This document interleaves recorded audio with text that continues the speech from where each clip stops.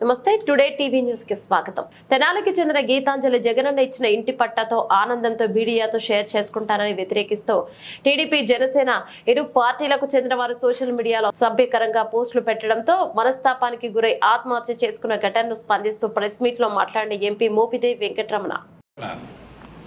ప్రజలందరూ కూడాను జగన్మోహన్ రెడ్డి గారి యొక్క నాయకత్వంలో మాకు అర్హతలు బట్టి అనేక రకాలైన సంక్షేమ కార్యక్రమాలు వస్తున్నాయి. మేము సంతోషంగా ఉన్నామని చెప్పేసి ప్రజలు తెలియజేస్తున్నారు. ఆ క్రమంలో గీతాంజలి అనే ఒక మహిళ తెనాల్లో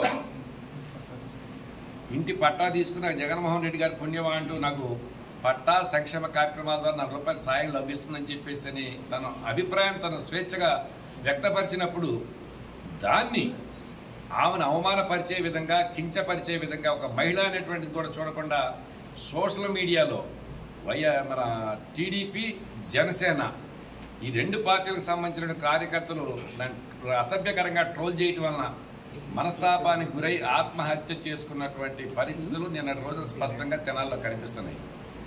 ఇది పూర్తిగా సభ్య సమాజంలో ఉన్న ప్రతి పౌరుడు కూడా తీవ్రంగా ఖండించవలసిన అవసరం ఖండించవలసిన అంశం ఇది.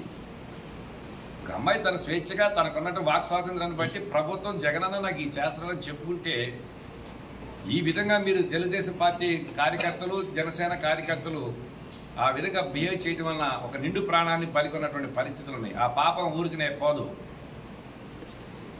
ఇవాళ చూస్తున్న ఏ మీటింగ్కి వెళ్ళినా మీకు ఏమైనా సంక్షేమ కార్యక్రమం రాలేదా అని చెప్పి అని అడిగితే ఒక్క మనిషి కూడాను మాకు రాలేదు అని చెప్పి చెయ్యేటటువంటి పరిస్థితి లేనే లేవు ఇవాళ.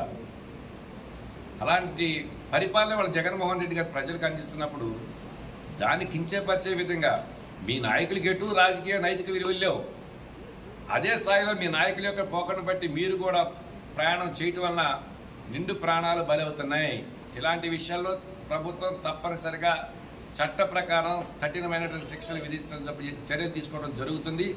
అదేవిధంగా గౌరవ ముఖ్యమంత్రి గారి యొక్క ఆదేశాల మేరకు ఆ బాధిత కుటుంబాన్ని అన్ని విధాలుగా ఆదుకుంటుందని చెప్పి కూడా తెలియజేస్తున్నాం.